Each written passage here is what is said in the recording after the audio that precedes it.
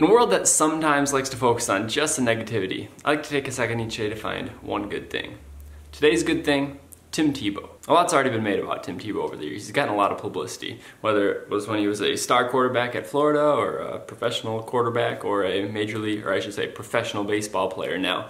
He's gotten a lot of publicity and I'm just gonna give him more, I guess. Last week I did a video about religion, and Tim Tebow's known for his religious views and being very outgoing about spreading his faith. And last week I was a little critical about people pushing their faith onto others. I think Tim Tebow approaches faith in the best way possible. He uses his faith as guidance on how to live a good life. He doesn't use his faith to look down on other people. And what I like about Tim Tebow is, yeah, he'll mention God in his interviews, and yeah, he'll thank Jesus or God after a big sports moment, but his message is so much more than that. He lives out his message. Just recently, a fan at a minor league baseball game passed out, and Tim stayed by the fan and waited until the paramedics arrived. And even after the paramedics arrived, he stayed and just comforted him. This week, he did a press conference, and since it's a Tim Tebow press conference, it turned into a big motivational speech. He was asked about the pressures of playing professional sports, and he compared the pressures of sports to the pressures of life. So much of handling sports is handling pressure. Well, what pressure do you have if you're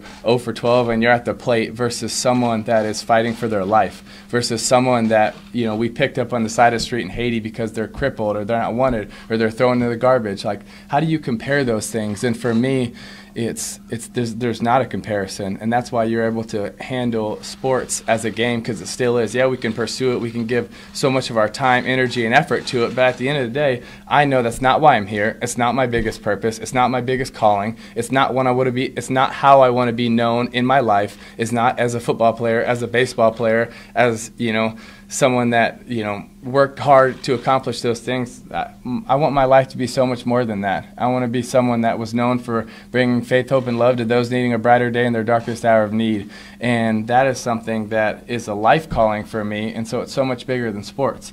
But I am so grateful for sports because it's given me a platform to be able to share and love and care for people all over the world. So I wouldn't trade that for anything. Now, over the years, Tim has had his fair share of criticism, and he's actually been made fun of for professing his faith. And I just don't understand that. I wouldn't consider myself the best Christian or even a devout Christian, but I would never make fun of someone for professing their faith and living it out in such a positive way. Like, how can you do that? All he brings to the table is goodness. So that's today's one good thing. If you can think of any other one good things, leave a comment below or send me an email at the link in the description. I'm Luke, and I'll see you tomorrow.